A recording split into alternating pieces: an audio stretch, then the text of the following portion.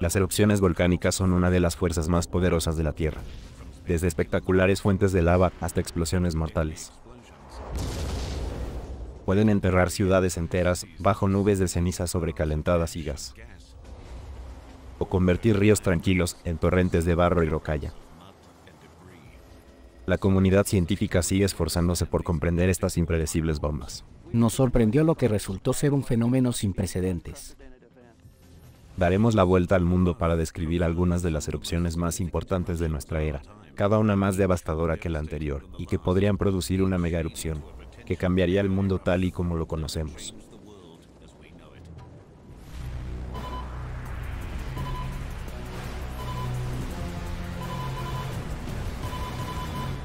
Megadesastre volcánico. Las erupciones son recordatorios traumáticos de que este es un planeta vivo. Su fuerza destructiva tiene una antigüedad de 4 mil millones de años, una fuerza que inspira respeto. Combina la belleza y la bestia. El poder de crear y de destruir. Desde el principio han cumplido una función vital, liberando calor, gas y minerales de las profundidades de la corteza terrestre. Estos subproductos resultaron vitales para la vida humana, en la formación de la atmósfera. Si los volcanes no existieran, nosotros tampoco. Para mí, es una de las cosas más hermosas que puedas presenciar, pero para la gente que vive ahí es lo más aterrador y destructivo. La misión del camarógrafo Jeff Mackley de grabar los volcanes del mundo conlleva riesgos. En una montaña, se salvó de la muerte por cuestión de segundos, debido a una mezcla mortal de gas caliente y ceniza. Se escuchó un rugido como de un tren y empezó a descender un flujo piroclástico por el valle en el que acabábamos de estar. De habernos quedado otros cinco minutos habría sido el fin. Mackley arriesga su vida para grabar la belleza de los volcanes, otros arriesgan la suya para registrar su fuerza. Mucha gente vivió experiencias que podrían haber sucedido de una manera u otra, dependiendo de algo pequeño que sucedió. En los últimos 60 años, las erupciones volcánicas han matado al menos a 27 científicos. Aún así, su búsqueda de conocimiento continúa.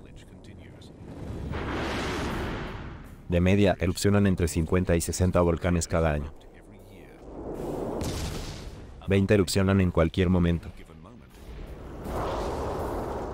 Se producen en la superficie de la Tierra. La mayoría tiene lugar dentro del cinturón de fuego, un área alrededor de la cuenca del Pacífico, donde las placas tectónicas chocan y permiten que se libere la roca fundida o el magma. El magma espeso cargado de gas desencadena erupciones explosivas. El más fino, con menos gas, es menos volátil. Para comparar y clasificar las erupciones, la comunidad científica ha desarrollado el índice de explosividad volcánica o escala IEB. Cada nivel supone una nube de cenizas más alta, más material expulsado y mayor energía explosiva. Los fenómenos descritos aquí comienzan con una erupción no explosiva y alcanzan su punto máximo con una supererupción que altera el planeta y que los grupos expertos afirman que acabará ocurriendo. Y la wea, desde 1983 hasta el presente, índice de explosividad volcánica de 0 a 1 tipo, punto caliente, factor clave, magma de baja viscosidad. Hawái es un impresionante paraíso tropical. Pero bajo la brillante arena y los frondosos bosques, hierve una olla de calor y violencia tremendas. Este es el lugar de una de las creaciones volcánicas más espectaculares del planeta. Las islas hawaianas son volcanes formados hace más de 70 millones de años por una poderosa formación geológica, llamada de forma oportuna punto caliente. Un punto caliente es una zona estrecha que tiene una cantidad excesiva de calor. El calor aumenta y está cerca de la superficie de la Tierra. Este calor derrite las rocas y esa roca derretida entra en erupción como lava.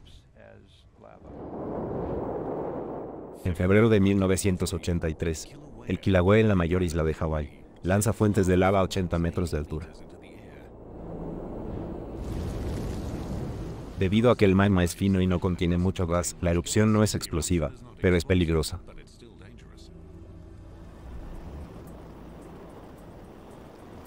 La erupción continúa siete años. La lava avanza tan lento como para escapar, pero es totalmente imparable.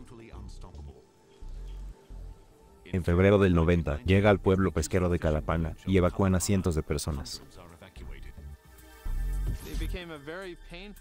Ver esto fue una experiencia muy dolorosa, porque la lava iba corriendo atravesando el pueblo.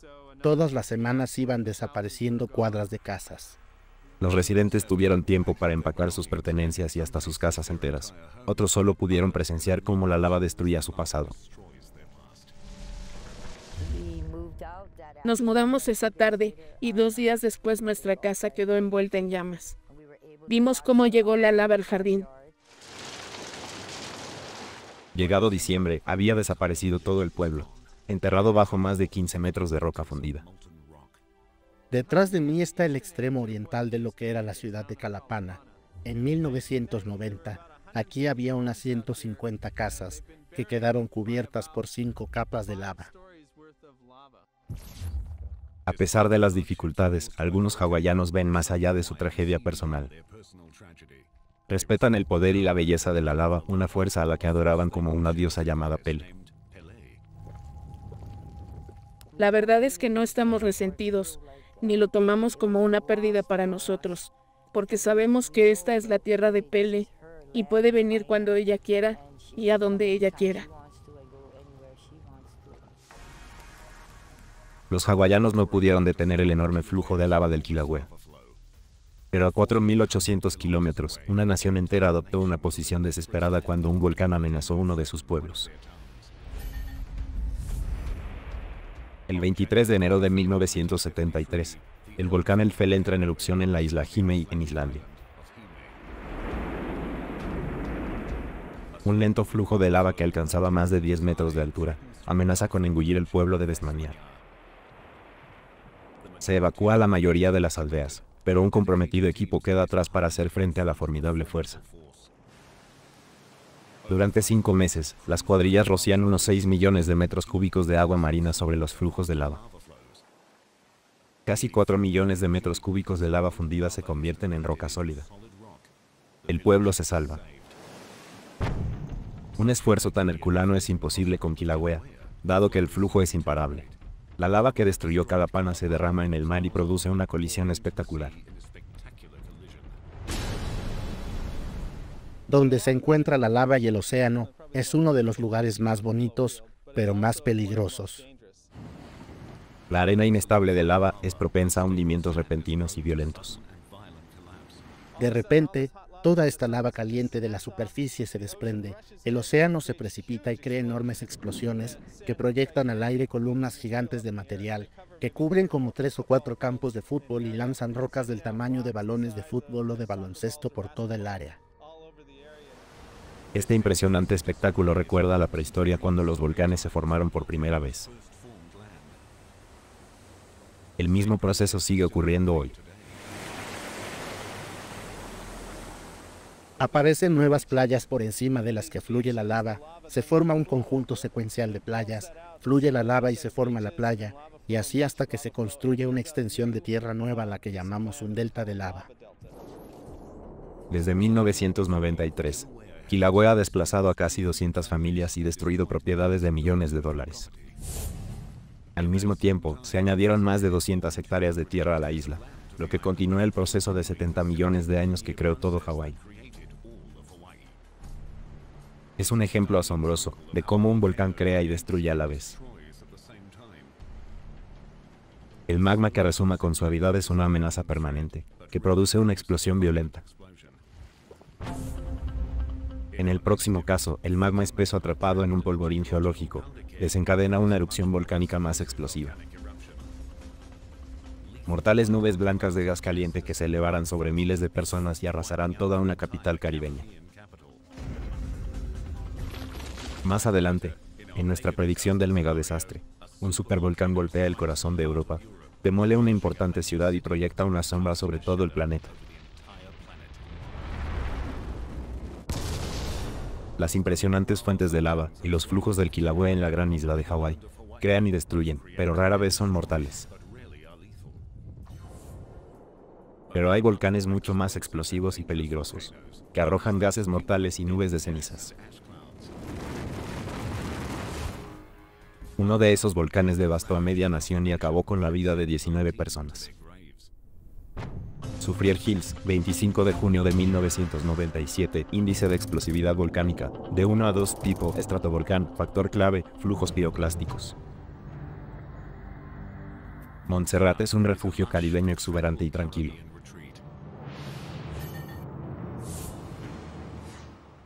Pero en 1995, el volcán Sufrier Hills, adormecido durante casi 400 años, despierta. Durante los próximos dos años, múltiples erupciones disparan cenizas a cientos de metros. Evacúan la capital de Plymouth dos veces, pero los residentes regresan con la esperanza de que la furia del volcán se haya calmado. El 25 de junio del 97, las esperanzas quedan enterradas.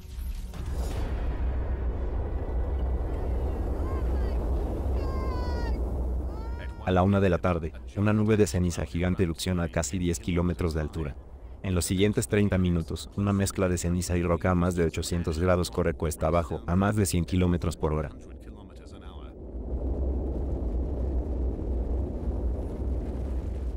Las nubes mortales se denominan flujos piroclásticos.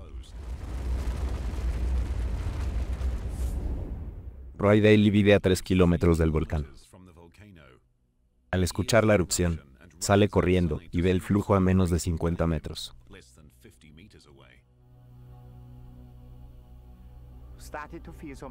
Empezó a hacer algo de calor y la oscuridad comenzó a cubrir el mundo, así que me metí en el auto y aceleré como un loco. Me fui a la cima de la colina, lejos del flujo piroclástico. La fuerza de la espesa mezcla de gas, cenizas y rocas arrasa todo a su paso. Roy observa impotente cómo destruye pueblos enteros. Él se las arregló para escapar de los flujos piroclásticos, pero aún no está fuera de peligro. Tenía miedo y pensé que iba a morir. Estaba tan oscuro que si te llevabas las manos a la cara no las veías. Le llovían encima cenizas muy calientes. Estaba asustado porque no podía moverme, ver ni respirar bien. Por supuesto que pensaba que iba a morir, pero tuve suerte. Al final, a Roy lo evacúa un helicóptero, pero no todo el mundo logra escapar.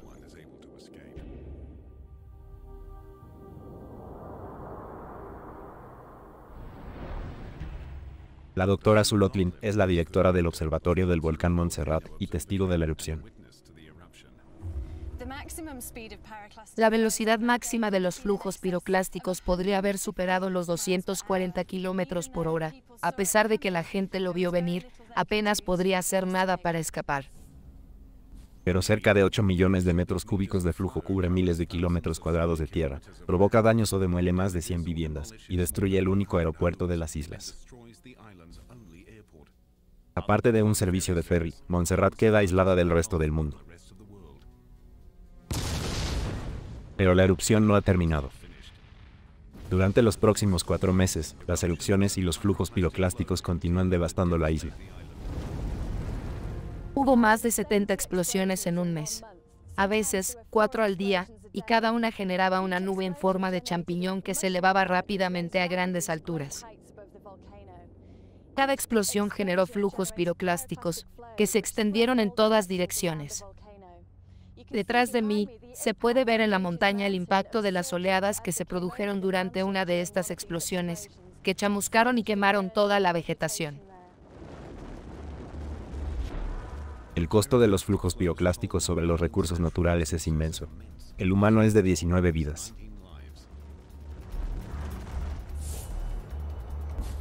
La causa de esta violenta y trágica erupción se encuentra en las profundidades de la exuberante isla. El mismo proceso que creó este paraíso tropical amenaza con destruirlo. Las placas tectónicas de América del Norte y del Sur chocan y se sumergen debajo de la placa del Caribe, en un proceso llamado subducción. La subducción se produce a unos 130 kilómetros de profundidad por debajo de la superficie de la Tierra. Según la placa desciende, se derriten partes de ella y se forma magma, que asciende hacia la superficie durante miles de años. A diferencia del Kilauea, el volcán Sufrir Hills produce magma espeso. Con el paso de miles de años, forma el clásico cono volcánico empinado, llamado estratovolcán. El magma contiene una variedad de gases, todos bajo intensa presión. Se eleva lentamente hasta llegar a la superficie de la Tierra, donde se libera la presión. Como una botella de champán, los gases se expanden de forma repentina y el volcán erupciona con violencia.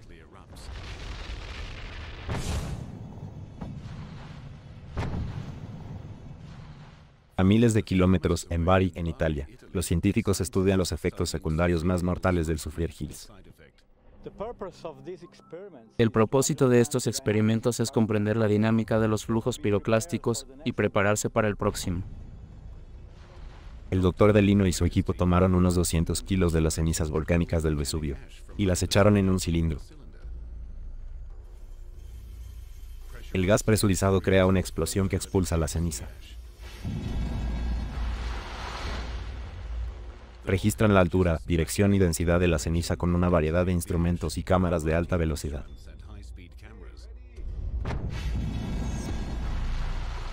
Estos modelos son lo suficientemente grandes como para escalarlos con precisión a eventos reales, algo que no se logró en el laboratorio. Los experimentos han determinado que la cantidad de magma y la fuerza que se le aplica son fundamentales en la creación de flujos piroclásticos. A continuación, los investigadores compararán la prueba con la topografía de volcanes específicos. Luego podrán identificar zonas concretas donde es probable que se produzcan flujos piroclásticos. Así, las autoridades locales pueden evacuar esas áreas antes de una erupción, lo que podría salvar muchas vidas.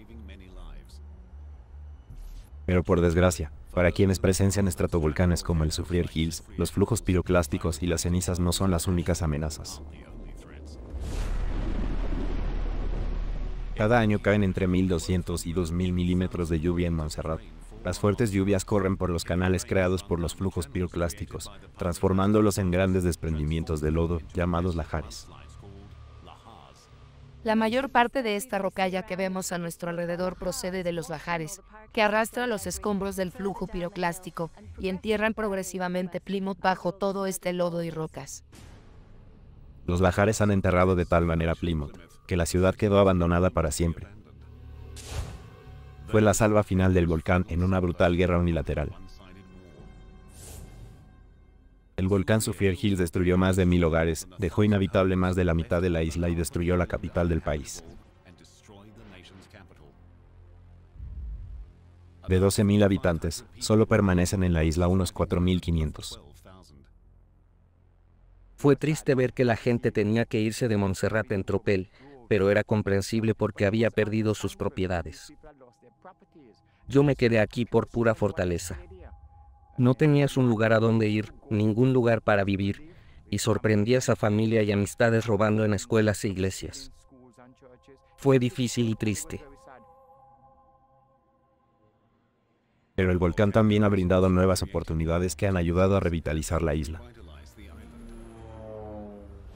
El turismo de volcanes está aumentando. De hecho, Roy Daly tiene un negocio de autobuses turísticos.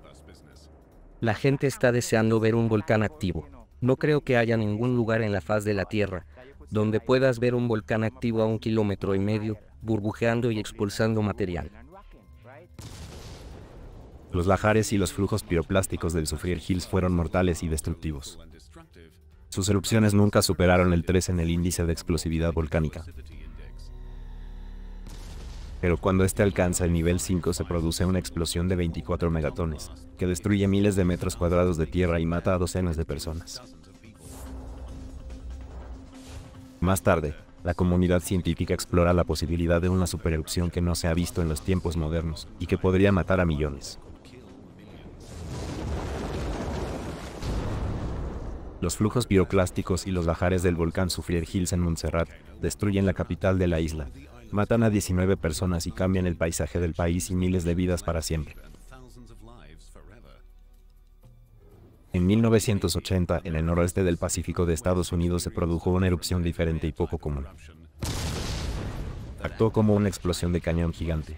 Arrasó bosques enteros y mató a decenas de personas. Monte de Santa Elena, 18 de mayo de 1980, índice de explosividad volcánica, 5, tipo estratovolcán, factor clave, explosión lateral. Monte de Santa Elena, Washington. Las cascadas son una majestuosa cordillera de 1100 kilómetros de largo, que se extiende desde Canadá hasta el norte de California. Cientos de miles de excursionistas y esquiadores encuentran en ellas refugio y aventuras. Pero en la primavera de 1981, las joyas de la corona de las cascadas comienzan a fracturarse. En marzo, pequeños terremotos se generan en las profundidades del monte de Santa Elena.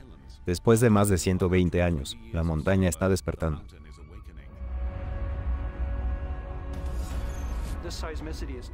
La sismicidad es típica de los volcanes cuando vuelven a despertar, porque a medida que la roca fundida intenta abrirse camino por debajo del volcán, hace mucho ruido al empujar a un lado la roca dura que forma la estructura del propio volcán. El 17 de mayo, Keith Hall, estudiante de posgrado en geografía intrigado por la actividad de las montañas, decide acercarse. El monte Santa Elena entraba en erupción cada cinco u ocho días, así que me fui a un lugar llamado Bermero para intentar ver una de estas pequeñas erupciones en la cumbre. Hall obtiene mucho más de lo que esperaba. A las ocho y media de la mañana del 18 de mayo, un terremoto de magnitud 5.1 sacude la cara norte del volcán. 2.800 millones de metros cúbicos de tierra caen a velocidades de hasta 257 kilómetros por hora. Estaba leyendo un libro en la camioneta cuando escuché a la gente gritar y cuando miré hacia la montaña, toda la cara norte de la montaña se estaba viniendo abajo.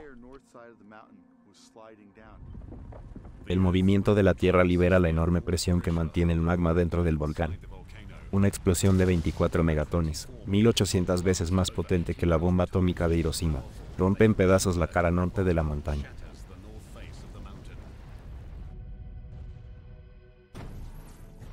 Se trata de una erupción poco frecuente, dado que no dispara hacia arriba como la mayoría. Es una explosión lateral que expulsa de la montaña una enorme nube de rocas, árboles y cenizas, aproximadamente a 180 grados. Apareció una nube de ceniza en movimiento, de color gris oscuro. Y en unos intensos 10 o 15 segundos, esa ceniza se expandió y cubrió toda la montaña. Todo esto sucedía en silencio, no hubo ningún ruido que reforzara mi reacción de huida. Estaba a 16 kilómetros, por lo que al principio no piensas que nada te vaya a causar daño a esa distancia. Entonces me quedé allí y tomé fotos, estaba fascinado. Mientras la enorme nube de rocalla recorre las dos crestas entre el volcán y Ronhol, a 483 kilómetros por hora, Kit de repente se da cuenta de que está en grave peligro. Mientras me iba, tomé una última foto por encima del hombro. Está movida y un poco borrosa, pero no podía perder el tiempo de pararme a enfocar ni de detenerme porque iba manejando. Y recuerdo que miré hacia atrás hacia el pequeño estacionamiento y me di cuenta de que era la última persona en irse. Entonces pensé que tal vez había esperado demasiado, porque la nube se precipitaba hacia mí. Por suerte para él, la explosión más fuerte se orienta hacia el norte y el noroeste. La parte que se dirige al noreste directa hacia él tiene menos energía, lo que le permite escapar montaña abajo. La explosión lateral arroja cenizas y gas hasta una altura de 24 kilómetros. En menos de una hora, las erupciones verticales expulsan más cenizas.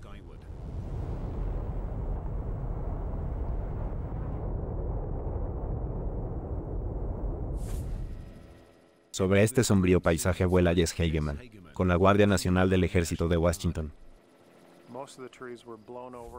La mayoría de los árboles los derribó la erupción y estamos hablando de poco menos de 25 kilómetros río abajo por el monte de Santa Elena. Modificó todo el paisaje. Te hacía sentir como una especie de mosquito volando alrededor del universo en comparación con el tamaño de la erupción. Fue algo increíble. Increíble y aterrador. Los flujos piroclásticos de 800 grados corren por las empinadas laderas a 129 kilómetros por hora. En algunos lugares tienen 37 metros de espesor. En las primeras horas del desastre, la tremenda destrucción del paisaje es imposible de comprender. Pero Jess Hegerman solo necesita un momento para darse cuenta del costo humano. Fue ahí, justo enfrente de nosotros, donde encontramos a los sobrevivientes en la zona de la explosión, que resultaron ser una pareja, Jim Komaki y su mujer. Al final, conseguimos subirlos a los dos. Ella murió en el hospital después de que los hubiéramos llevado, pero Jim sobrevivió y sigue vivo.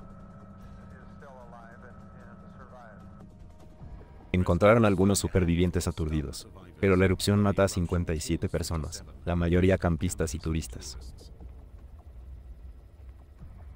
Nueve horas después del inicio de la erupción,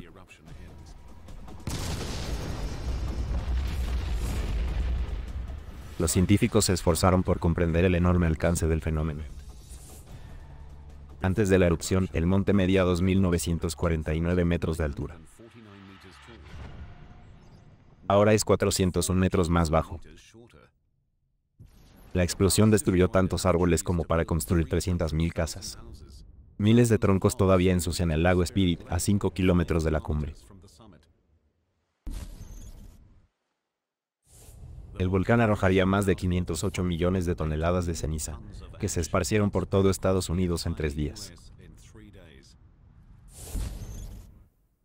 Dos días después de la erupción, los geólogos se acercan por primera vez. Era como caminar sobre la luna, nunca había visto nada así. Toda esta zona, que es de 600 kilómetros cuadrados, quedó totalmente devastada. No había ni un ser vivo, ni un insecto, ni un pájaro, ni nada.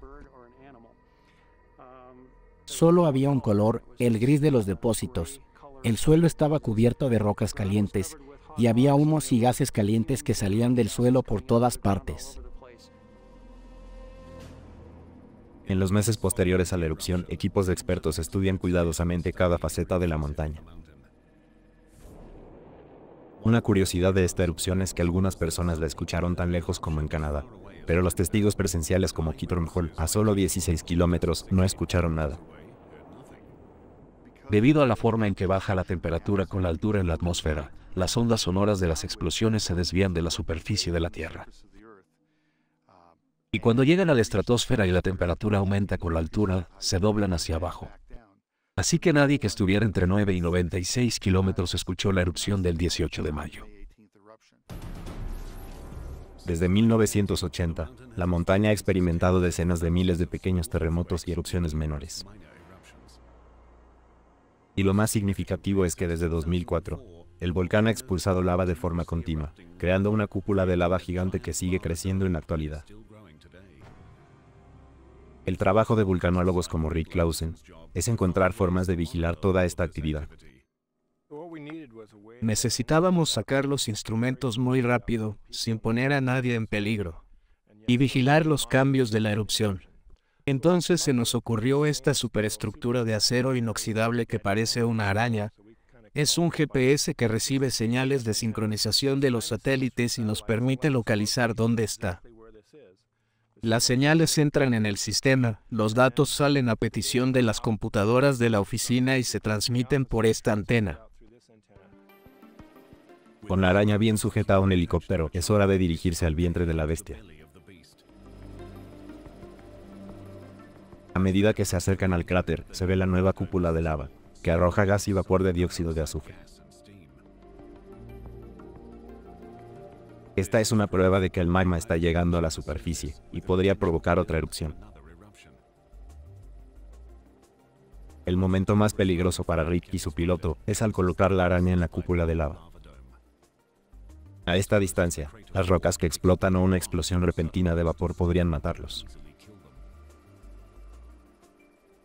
Con la precisión de un cirujano, los hombres colocaron con mucho cuidado la araña sobre la cúpula de lava. En cuestión de segundos, el dispositivo comienza a recopilar y transmitir datos. En el observatorio del volcán en Vancouver, en Washington, Lawson analiza las imágenes de la cámara digital de la araña. La fotografía a intervalos muestra el formidable crecimiento de las cúpulas de lava. Lo más extraordinario es cuánta roca sale del suelo.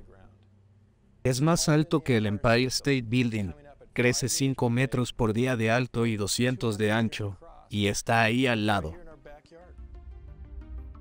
Aún no se han sacado conclusiones sobre el rápido crecimiento de los domos de lava. Los geólogos advirtieron de que una erupción similar a la de 1980 es posible, pero poco probable. Sin embargo, están seguros de que se producirán futuras erupciones de algún tipo.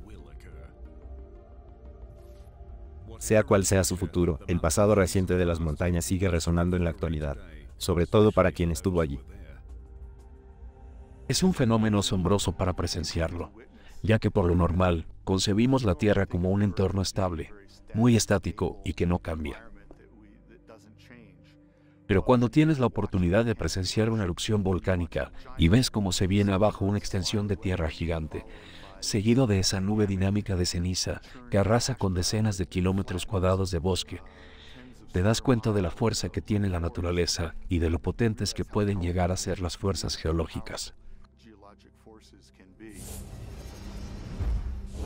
Esta explosión lateral de Yeve 5 destruyó una enorme cantidad de tierra y mató a 57 personas.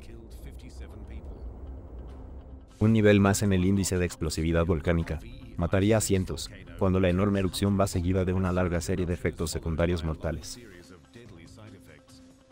Y más tarde, la ciencia revela los efectos impensables de una mega erupción, que se garantiza que ocurrirá en algún momento futuro. La explosión lateral de nivel 5 del monte de Santa Elena arrasó 600 kilómetros cuadrados de tierra y mató a 57 personas. Pero hay un volcán que supera al anterior. Mató a cientos, afligió a millones y afectó a todo el planeta. Su erupción fue solo la primera de una serie de trágicos sucesos que se prolongaron durante días, meses y años, que continúa hasta hoy. El Pinatubo, 15 de junio de 1991, índice de explosividad volcánica 6, tipo estratovolcán, factor clave, Lajares.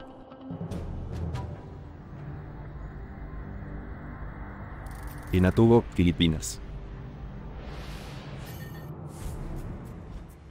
Luzón es la isla más grande de Filipinas. En ella habitan 56 millones de personas. Se encuentra la capital, Manila, y el monte Pinatubo. Durante siglos, miles de personas han vivido en la montaña y sus alrededores. Los agricultores cosechan arroz y otros cultivos en su fértil suelo. Lo que muchos lugareños no sabían ni creían es que la montaña es un volcán. Incluso la mayoría de expertos pensaba que no estaba activo. El 9 de junio de 1991, la montaña entra en erupción por primera vez en más de 500 años. Erupciones, terremotos, flujos piroclásticos y cenizas azotan la isla día y noche. El geólogo Kelvin Rodolfo llega cuatro días después. La ceniza caía tan espesa que no veías a más de 6 metros. Nos caían encima trozos del tamaño de un huevo. El 15 de junio, una enorme erupción arroja 5 kilómetros cúbicos de escombros volcánicos a 35 kilómetros de altura. La cima de la montaña se derrumba, provocando una serie de grandes terremotos. Rodolfo es una de las miles de personas atrapadas en la ciudad de Olongapo, a 33 kilómetros de Pinatubo. Estaba aterrado. Durante la erupción, cada tres minutos más o menos, había un temblor importante de tal magnitud que querría salir corriendo del edificio. Pero afuera es igual de aterrador. Una luz rojiza se proyectaba en horizontal sobre la gente. Y los truenos eran casi simultáneos a los relámpagos. Estos rayos los causa la electricidad estática de la nube de cenizas no suelen ser peligrosos porque son horizontales, no verticales. Aún así, el miedo a las condiciones exteriores impide que muchos lugareños barran las cenizas de los tejados, algo que tendrá consecuencias terribles.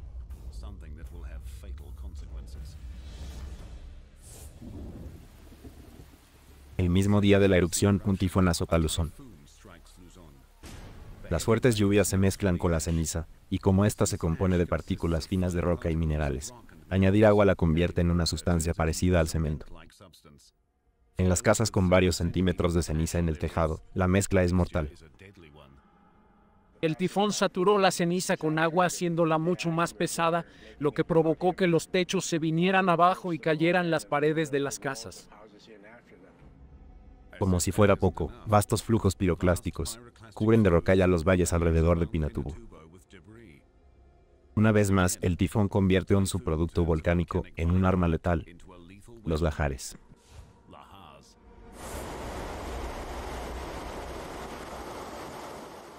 Los lajares se forman cuando una gran cantidad de rocalla se mezcla rápido con mucha agua.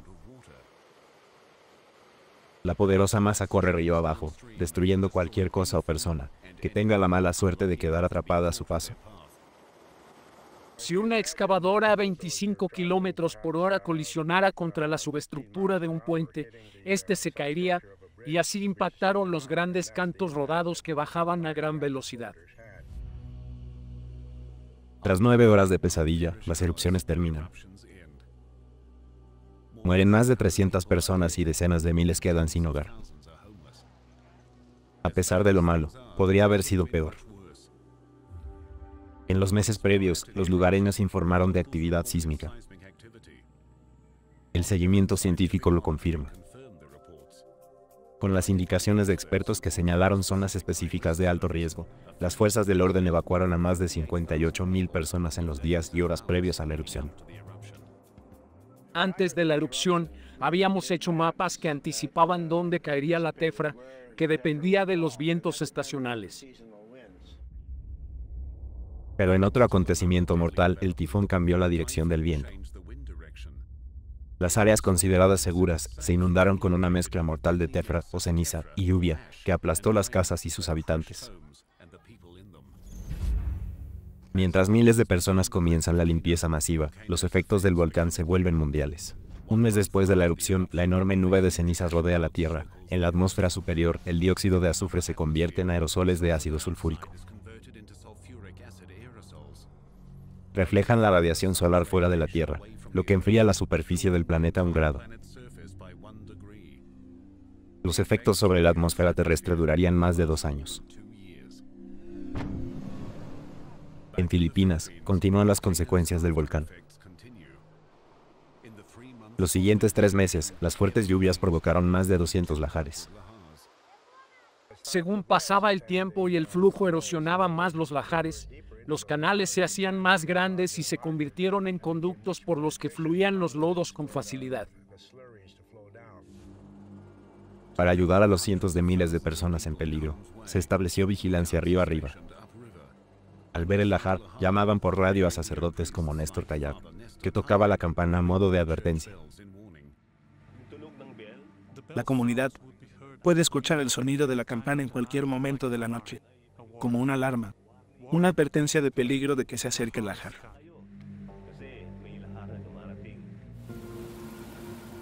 Pero una vez más, un giro del destino conspira contra el pueblo de Luzón. En octubre de 1995, otro gran tifón azota la isla y pone en alerta el servicio de vigilancia.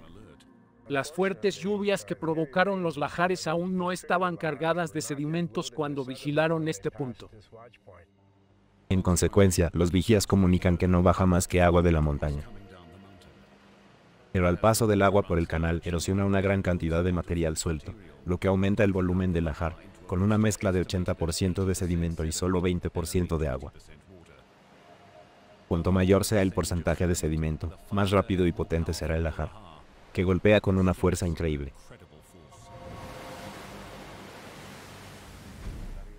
Hacía ese ruido, un sonido como si fueran caballos. Se estaba acercando, y de repente invadió la iglesia parroquial. El segundo piso de la rectoría donde vivo quedó enterrado, así que me subí al campanario. El lajar seguía llegando. De hecho, se escuchaba el lajar como seguía subiendo y enterraba los segundos pisos de la mayoría de las casas. Se escuchaba a la gente gritar. Estaba muy oscuro, no se veía nada. El lajar mata a decenas y entierra a todo el pueblo de Bacolod. Como el cemento, los restos del lajar se secan rápido y se endurecen como una roca. Actualmente, el pueblo está construido sobre el lajar seco. En todas partes hay recordatorios sobrecogedores de la devastación, incluida la iglesia del Padre Néstor, donde hubo que construir un piso nuevo sobre 7 metros de barro. Desde 1991, miles de lajares han matado a casi 400 personas y destruido más de 42.000 hogares. Pero la comunidad científica teme que el Pinatubo no haya terminado. En la cima de la montaña, se está formando una nueva amenaza. No es magma, sino que los años de fuertes lluvias han creado un lago gigante en la caldera del volcán. Se desbordó en 2002 y provocó un lajar enorme.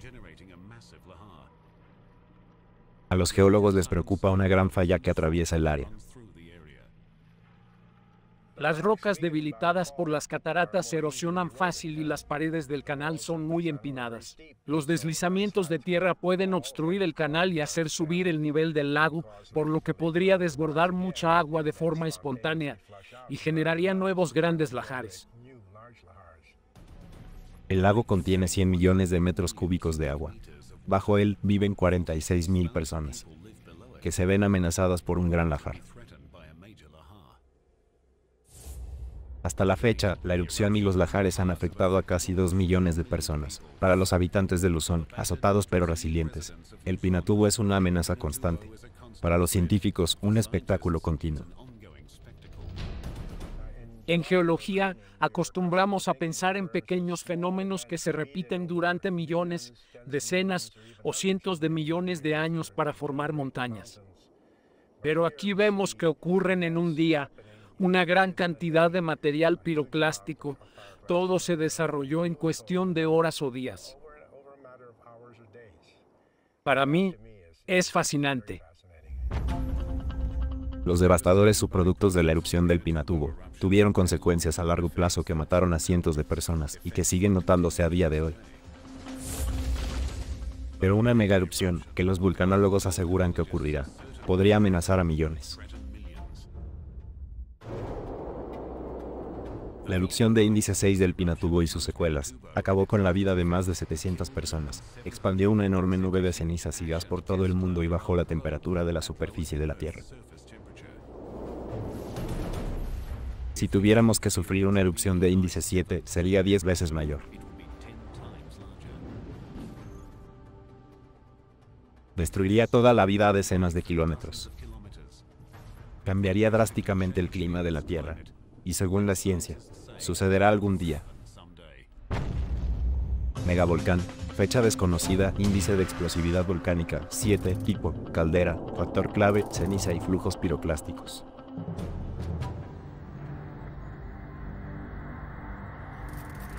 Nápoles, Italia. Los 5 millones de habitantes de Nápoles en Italia viven en la zona de mayor riesgo volcánico del mundo. A aproximadamente 11 kilómetros se encuentra el monte Vesubio.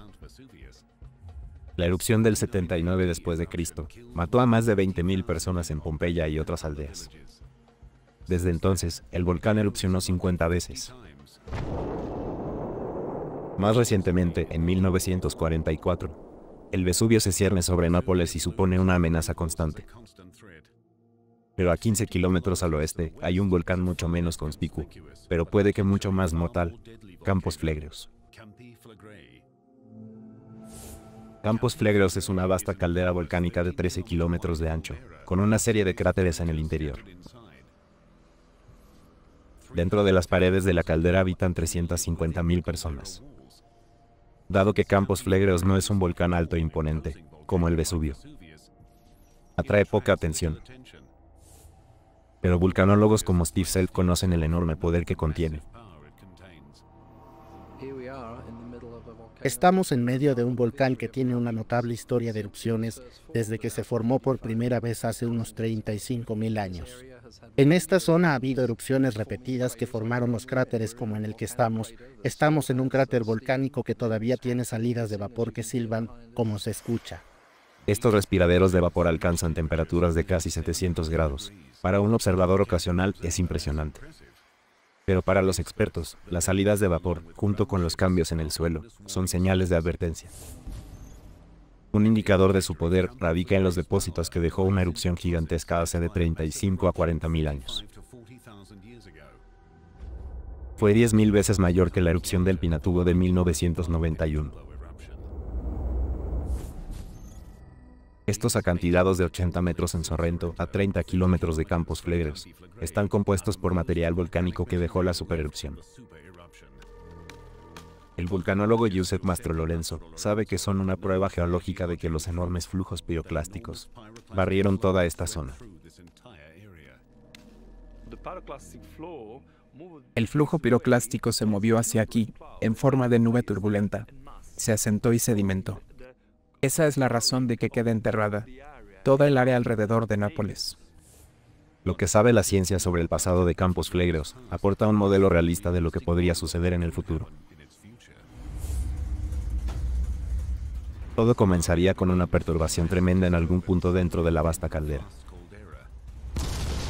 Una supererupción, más de 242 kilómetros cúbicos de polvo, gas y piedra pómez se arrojaría al aire, enterraría un área muy grande del tamaño de una ciudad importante con un espesor de ceniza de cientos de centímetros. Enormes flujos piroclásticos parten del volcán a velocidades casi supersónicas. Los edificios que ya están enterrados por las cenizas se vienen abajo por la fuerza de los flujos o quedan incinerados por las temperaturas de 400 grados.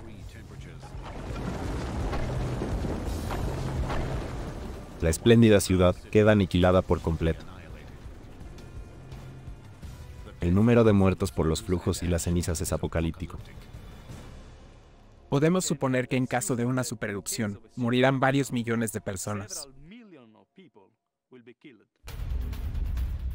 Las personas heridas y la destrucción alcanzarían una zona mucho mayor que la más cercana. La columna de la erupción crecería a una altura de 30 kilómetros.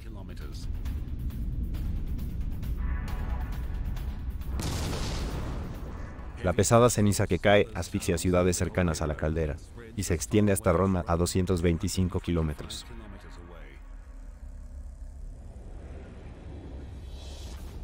En la ciudad caen más de 20 centímetros de ceniza.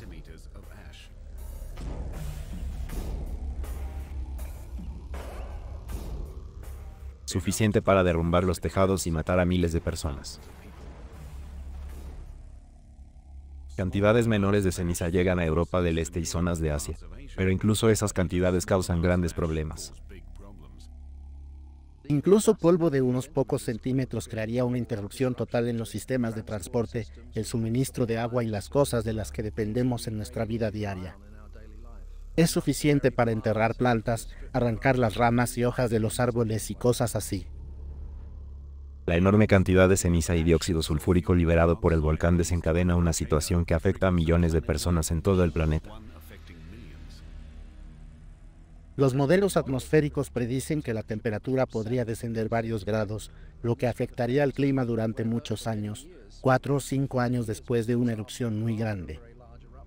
Las temperaturas cambiarían las zonas de cultivo, que quizás después no fueran productivas para esos cultivos secarían grandes áreas de vegetación y podrían morir millones de personas.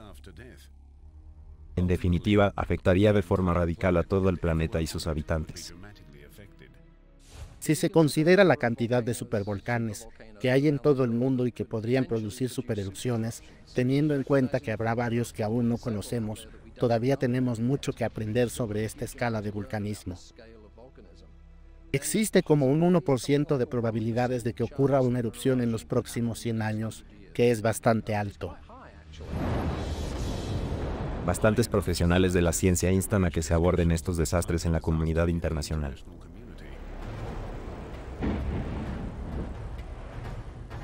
Los vulcanólogos saben que no hay forma de prevenir una erupción. Por ello, aprenden del pasado y estudian el presente para ayudar a la humanidad a prepararse para el futuro.